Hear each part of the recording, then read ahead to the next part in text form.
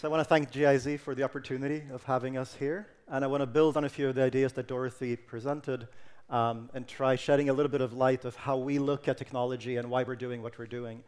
And I want to talk about certainties. And the first certainty about technology is that we're blind to it. There's this wonderful definition uh, called technological somnambulism, which says it's the way we view technologies as, something, as tools, as things we can put down and pick, pick them up again, is flawed. Uh, because of this view that technologies are just objects and something we can separate ourselves from, we don't see the, their long-term implications.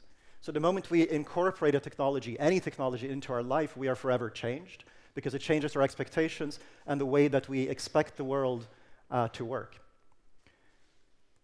So my name is Michell. I'm a geek and a nerd. And uh, I was born in 82, so I'm sort of first generation millennial, born in Stockholm, got broadband very early, so I was in many ways sort of pushed into the online world, whether I wanted to or not. And some of my friends define me as, oh, here she is. Some of my friends define me as uh, the, the, intersection between an early adopter and a heavy user. And I, I guess, yeah, he can be a little bit distracting, but this is my dog. And um, just a little bit. Yes, that's enough. And um, so I do spend a lot of my time not only using technology, but also thinking about it. And the work we're doing at Envisioning is meant to help people understand the implications and develop their own long-term view of where technology is heading and what it's doing to us.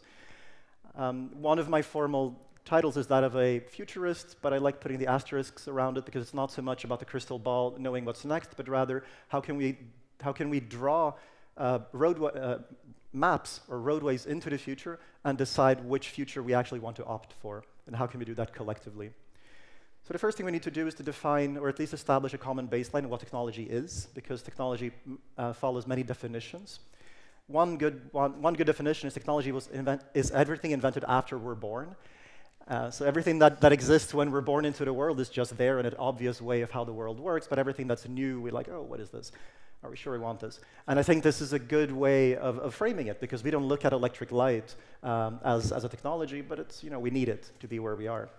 And every technology follows a certain direction. They all develop, they all build up over time, individually and collectively. So you can sort of draw the visible history of writing and see how we got to where we are now. And this works for every given technology. Um, something as trivial or as obvious as aviation uh, was, you know, wasn't possible a century ago. Some, and when we look at what's happening now, such as the, uh, the parkour robot on the left, um, on my left, your right, and compared to where robotics was only a decade ago. These are actual videos, 10 years apart, and it's a good, quick way of reminding us of how quickly these things are moving and how much is actually uh, is how much is changing in such little time. We used to hunt, now we click when we're hungry.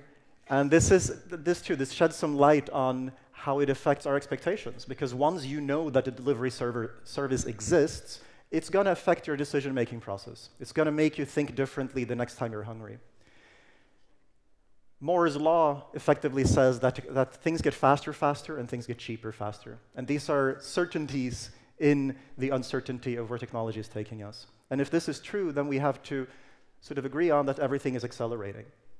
Because technology has, ends up affecting all of these different aspects of our lives. And if everything is accelerating, that also means that today is the slowest day we'll ever live through, tomorrow will be slightly faster, and the next day will be slightly faster, and so on and so forth. The good thing is this is true for everyone. It affects all of us. And I think the way out of it is to, is to, is to see what's, you know, what's moving in our direction and understanding some of these patterns, some of these uncertainties that exist in the uncertainty of technological development. So we, we're certain of exponential change, but which is the sort of the framing of this, uh, of this trend, if you will. But if you have exponential change, you also inevitably have consequences. And these consequences are far more interesting and far more uncertain than that of the exponential change. So for example, the automobile, uh, which we've all taken for granted, was more than just a faster horse and ended up affecting us in many different ways. The, the fact that we have urbanization and urban sprawl is a direct consequence of the, of the popularization of the automobile. Same thing with allocating so much space on our planet to just storing cars. And traffic did not really exist before the car. So all of these things are just part of how the world works now, but they're a direct consequence of a single technology, a very popular one, and a ubiquitous one, and one that has established large economies, but it's still just a technology. The same way elevators have led to cities like Hong Kong. You don't have vertical, you don't have dense uh, cities with, with, uh, with vertical locomotion unless, sorry, you don't have dense cities unless you have vertical locomotion. Nobody wants to live on the 44th floor unless you have an elevator. But once you invent the elevator, cities like these become possible. It's non-obvious, but there's still a direct correlation. Once you have social media, you can affect the out outcome of elections, apparently. And now, and we have to take it for granted because you can't extinguish social media. That's not an option anymore. So how do you deal with it? And of course, I'm thankful to be European in these moments where, at least here, we're asking those questions, as opposed to many other places. Roy Amara, uh, the founder of the Institute for the Future, um, has a law in his name which basically says that we tend to overestimate the short-term effects of technology and we tend to underestimate their long-term effects. So in the short term, we think technologies will be way more impactful and disruptive than they actually are. Then we forget about them. We go back to norm normality. And after a while, they take off and actually end up changing our lives way more than we expected it to be possible. The tricky thing is this is true even when you know it's true, so you have to keep compensating and sort of climbing up the hill more and more, faster and faster.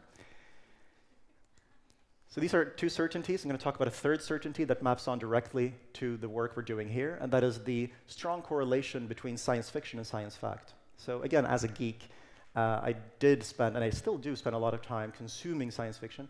And after a while, you notice that there's, there's too much correlation between what's happening in, in sci-fi to reality to be a coincidence. And so that's, that's one of the ways that we look at technology at Envisioning is to look at the full timeline between idea and reality. We we believe that every technology begins as an idea. Some of these ideas become concepts. Some concepts eventually merge into prototypes, and some prototypes eventually make their way into becoming products. It doesn't mean that every idea becomes a product, but it means that every product began as an idea. And we can map this and we can track this.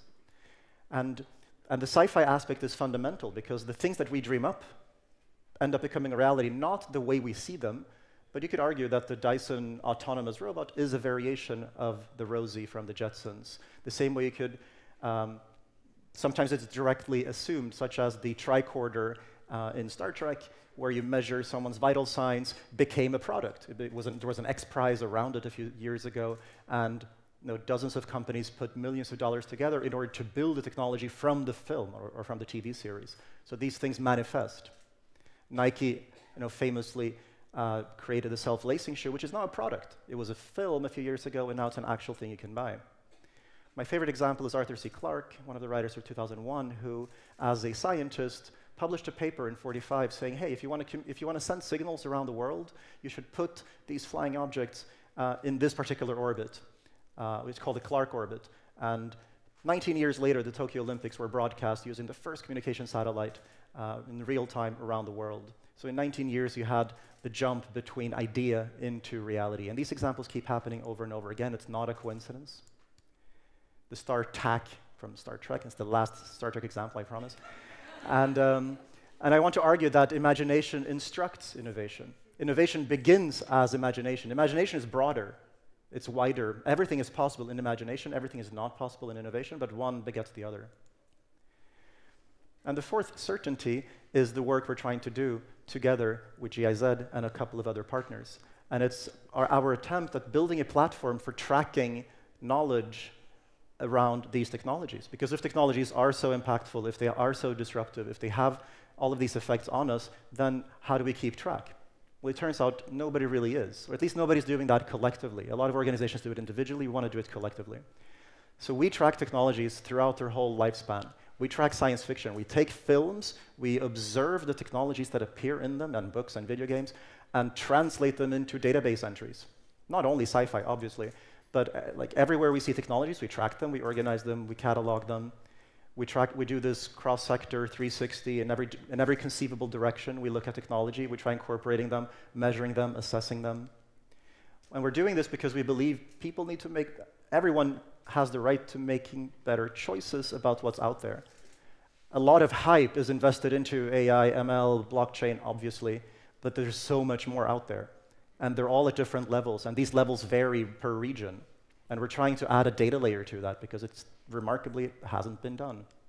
So we're building an intelligence platform in conjunction with, again, the GIZ and a, a handful of other uh, partners around the world with the intent of bringing this knowledge to as many people as possible. We're, we're creating this in the open, we're, we're turning this into a public utility which anyone can access and everyone should access to learn about what's going on. We do a lot of visualization work. I'm not going to go into it because you're going to see more of it in a, in a few minutes. But we believe that the best way to represent the data is visually. We believe uh, interactive visualizations are way more engaging than reports and actually convey information more efficiently. Our belief is also that in, in uh, as Dorothy was talking about, in so many other ways, with so much more eloquence than I can, it's about being inclusive. It's about making, bringing the capability of making better choices to more people. We're, do, we're building this as a, as a public utility, obviously, because it's 2020, come on. Uh, and we're doing it globally. These are the locations of the organizations that are on board now helping us do this. Um, and we work both in the public and private sector. And uh, we have the privilege of working with wonderful organizations that believe in this vision and that actually want to help us build this together. And to wrap things up, technology is neither good nor bad, but it's also not neutral.